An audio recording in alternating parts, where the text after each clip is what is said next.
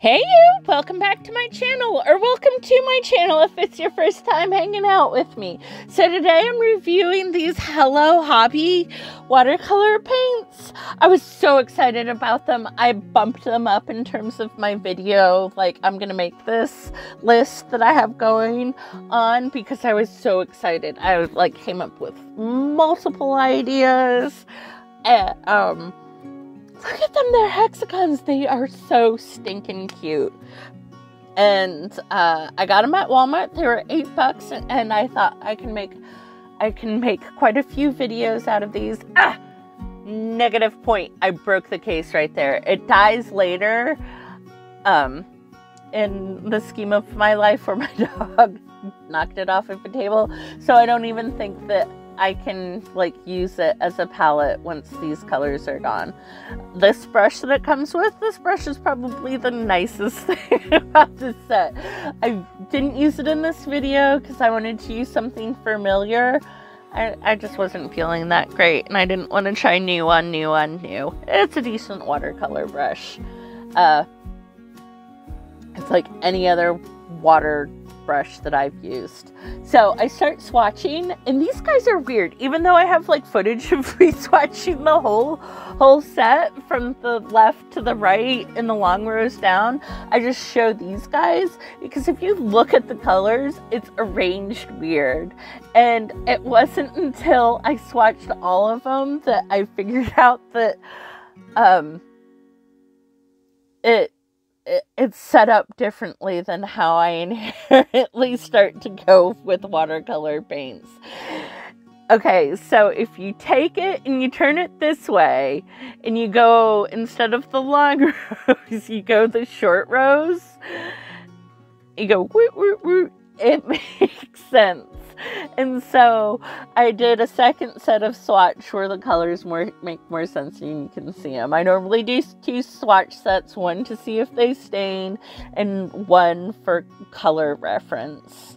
And uh, I didn't show the process of either one because uh, through the process my plans changed after interacting with these. Oh, this guy split it's separated into two colors. There are watercolors out there that are specifically designed to do that, and it's expensive luxury watercolor set. I'm guarantee you that that's not what's happening in here. They are separating in, in sadness. I got a blue and then I got a magenta color, and you can see it as I, I tilt it. It's so much more visible in life. Okay, so I got these guys at Walmart.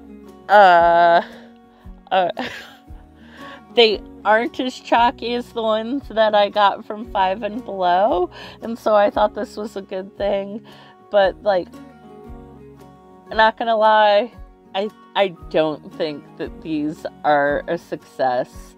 And as you go on the video, you'll see why I'm like, don't spend your money on them. They're not worth it. The case breaks, the watercolors, you'll. Ugh spent your money on something else, is my honest review. And I didn't think it was mm. going to be that way. So I I had all these images going through my brain and I sketch out this queen bee and I sketch the hive and the worker bees in the background and this is where I'm like, oh, I need to split these items apart and I'm gonna make a YouTube short video or a TikTok. I don't know and I'm gonna do the little queen bee, and then I'm gonna do like a cute thing with flowers on the bottom of the bees, and the bees are gonna be different colors for the pollen, and it's gonna, and then I'm gonna do one with my frog where I talk about how I rate these watercolors in terms of other inexpensive watercolors that I have, because I'm doing this sort of side quest in my life where I search for good cheap art supplies uh, every back to school season, but this year I am like pedal the metal. I'm gonna get my hands on all of them and I'm gonna try them out and I'm gonna sort of have like a mini tournament of champion and ship. I don't know if that's actually coming through in the videos. It's definitely not to happen with this paint because it's a no buy. Don't buy these paints. Wall Armor Walmart has some good art supplies, some good quality stuff. These guys are not it. And when I talked to the internet about it, they were like, they're called hobby. They're they're not fine art. You don't make good art like true fine arts with these watercolors. They're for kids. Dude, I wouldn't even give these to kids. Just walk by them, say no to the hello hobby. Um okay, so this was going to be my YouTube short, my my little short. I I think that it comes out to be a really just sweet spot illustration. Um I am doing that sort of like splattery painting in the background or, or trying to recreate it. I, I'm too much of a control freak to to just like wing paint at my uh I just canvas. I can't do it. And I slow the painting video down of it uh because at this point in time I I knew that I wasn't going to do what I intended with the video to make it a short and have that little like end piece where I pull out the last shot where it's just the picture of the illustration. So I slow it down. Oh, I pull an Posca marker. So the white in this paint is junk. It's it's junk. It you you can't see it. I tested it out on a side thing in between takes, and so it won't even cover up a black line. It won't cover over its own paints. So I pulled out the Posca marker. He, the Posca marker lives in my pencil case. You know, this is my art. Who says that I have to be a watercolor purist? I already have pen and ink lines going on, you know and I think that it, it helped it make it better. And so here I'm doing my second painting.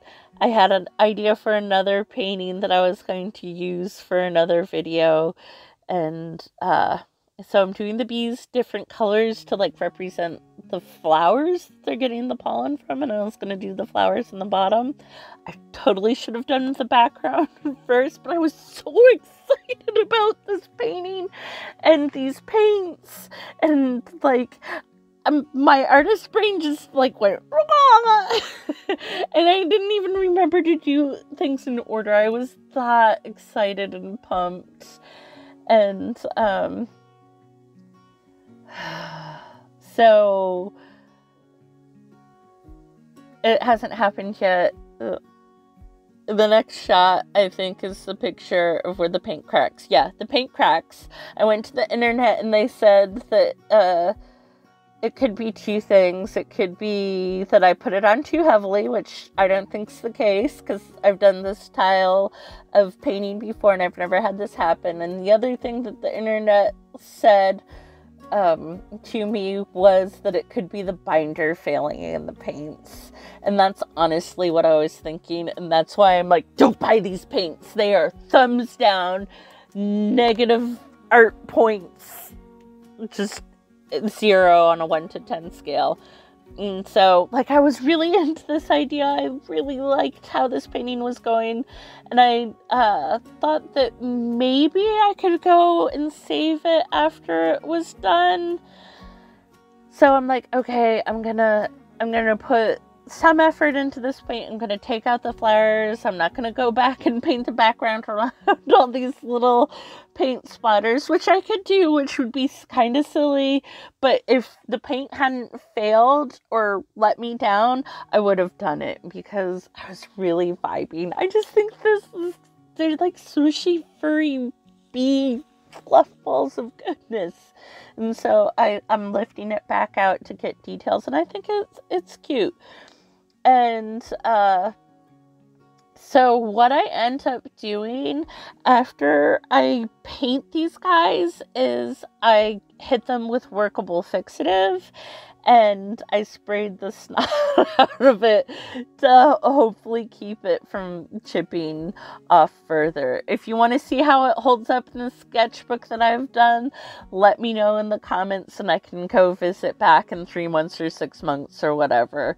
But uh, Workable Fixative has always been a good product for me. Uh, I don't know what to say about that. But we can see that's what it did. It chipped. And it didn't just chip on uh, all of the little bee splatters chipped on this painting. They all did it in one place or another. This was the one that irked me the most. So uh, I showed it. This is where it's cracking and it's coming up. And I was so sad about this. Um, it also did it on my swatches. And this is, you can tell this swatch is one of the ones where I'm testing to see how it stains the paper to see how light you can pull it back up. And I have painted swatches like I painted those swatches a billion times. It wasn't too thick. It's just failing. So, like, subscribe, come see me next time. Hopefully, it won't fail. Bye.